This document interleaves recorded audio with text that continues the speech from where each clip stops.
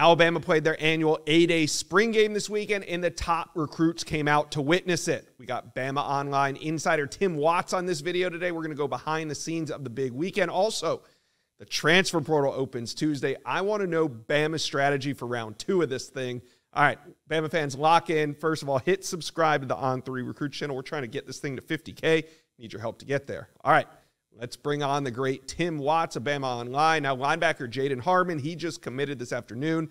Lotzeir Brooks the day before. Um, Harmon looks great, six foot one, 205 pounds, kind of what Bama has been recruiting at the linebacker position.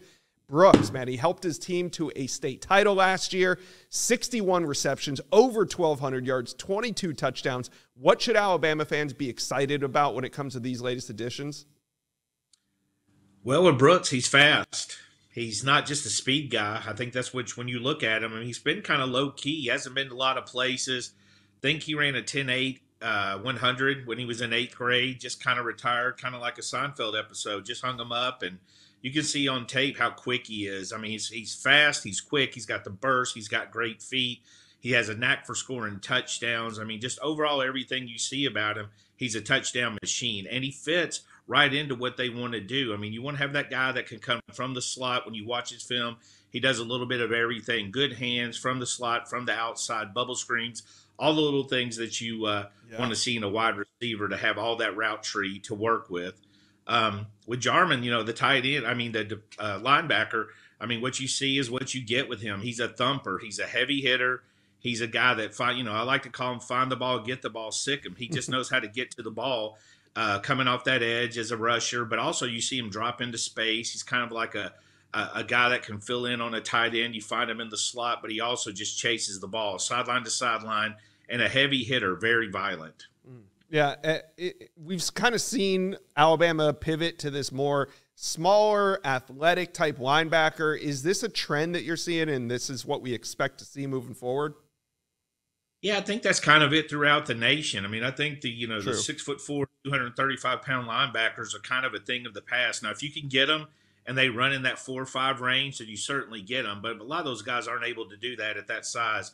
Uh, these are guys that they want to be able to line up in different positions and move all over. I mean, they've got guys with size. They got Metz, who's in the 220 range. They've got Abdul Sanders, who's in the 225 range. So they've got guys that are bigger. But I think the main thing they're looking for is guys that can get to the ball, deliver a hit, and bring you down on impact.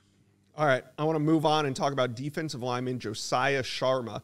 He comes in from California, massive four star defensive lineman, but this has been his third visit to Alabama this year. He was at a practice. He was at the junior day back in February. Now he's back again this month for the second time just this month. Uh, is Bama close to landing a commitment from Sharma? You know, I never want to say never. I know he wants to take visits and enjoy the process. I feel mm-hmm. like they've did a great job. That relationship's carried over from Courtney Morgan and Kalen DeBoer from when they were at Washington. He's obviously really happy at Alabama, as you said. He's been a multiple multiple visits uh, to the capstone, and you got a guy that's coming clear across the country to do that. One of my favorite guys in this class because he's one of the first guys I heard linked to Alabama when the new Washington, when the old Washington staff arrived in Tuscaloosa. Yeah. Sharma was one, Jackson Lloyd, who's another guy that's made frequent visits from California. Both of them are those dancing bear type guys on the offense and defensive line. I don't know if he's close to a commitment, but I do like where Alabama sits right now. Yeah, it just seems he committed a ko to Kalen DeBoer once while he was at Washington. Now DeBoer's at Alabama. It seems to me like a commitment could be imminent, but we'll have to hold off and just wait and see what happens there. All right. I wanted to talk transfer portal. Round two is going to start on Tuesday. And over the weekend, we spotted Kadyn Proctor at the Alabama spring game just hanging out on the sidelines, like with the other recruits. That was kind of a weird scene there, but it does indeed look like he's going to be back at Alabama here soon. Uh, when it comes to the portal, does Alabama need another offensive lineman when it opens? And also, well, we'll get to that. What do you think that they need in the portal right now? Well, I think you always need offensive linemen, right? They're a little bit thin at tackle. Even with Proctor coming back, they're looking about four on scholarship, I believe is the number.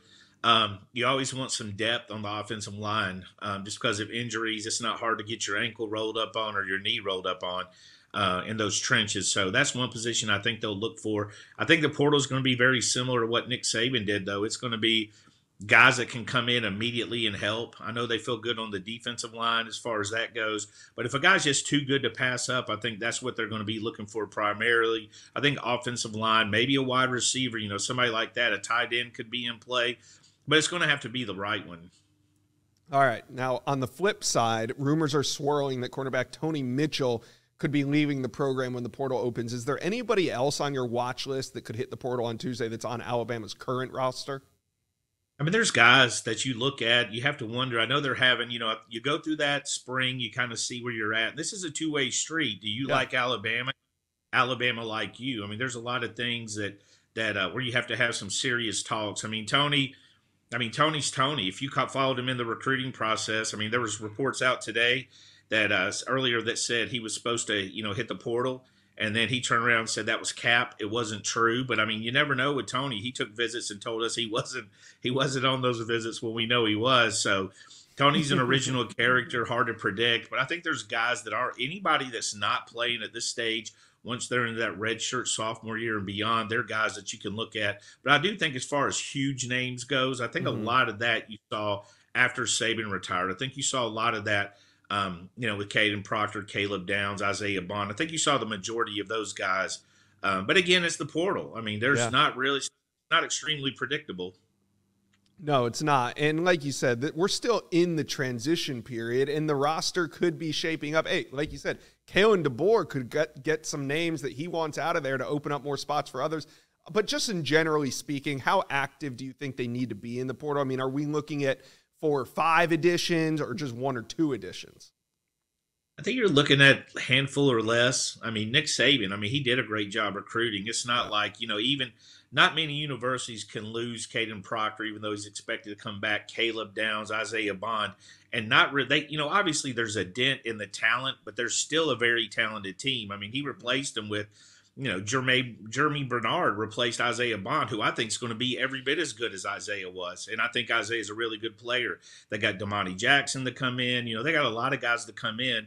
Counting, if you count Proctor, and I don't know if you count him or not, they got the number one offensive tackle from the portal, and they got the number one center from the portal and uh, portal in Parker Brailsford. So they did a good job of finding holes, but I don't think there's any staff in the country – any who's saying, "Hey, we're good. We don't need anybody out of the portal." There's always holes to fill. Yeah, it's, it's kind of a weird cycle when Alabama loses one of the most important players to go to the portal, but then they land him again, and so now I guess they landed one of the most important players to hit the portal. I don't know how that is yeah. supposed to work in 2024, but Tim Watts, thank you for stopping by the Inside Scoop, talking a little Bama recruiting with us today. You guys got it anytime. Thank you for watching this video. And if you enjoyed that, go check out the hundreds of videos that we have on this channel. And also, do me a favor hit subscribe to the On3 Recruits channel.